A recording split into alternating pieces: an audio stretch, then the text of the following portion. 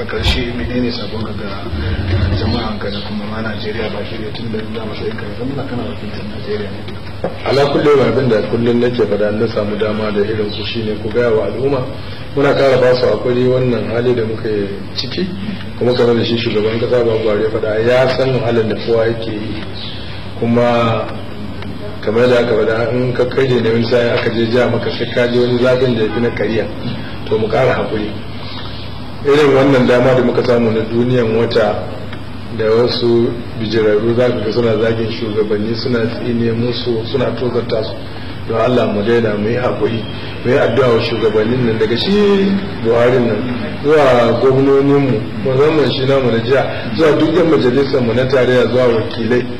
Cewa Allah ya ba su zarafin kawo wannan canji kuma yadda walwala zai zuwa ƙasar nan ba mu dinga tsine musu kuma mu kara haƙuri. Kuma ina kira ga iyaye su lura da tarbiyyar yayansu don abubuwan da yake faruwa musamman a yanar gizo nan da duniya ta kan hannun nan akwai dokoki wanda su masu mulkin nan za su iya su je a musu kali. Amma saboda tabarbarewar al'ada da sauransu da tarbiyya sai ka ga cewa yaron da bai san ka ba yaron da in ba din siyasa ka shiga ba zai saka hoton ka na iyalan ka to zata sai na zage su da sauransu haka. To da Allah iyaye da malaman addini mu dinga wa'azi.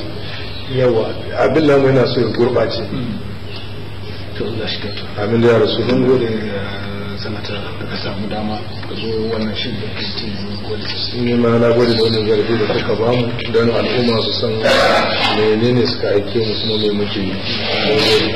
To jama'a cikin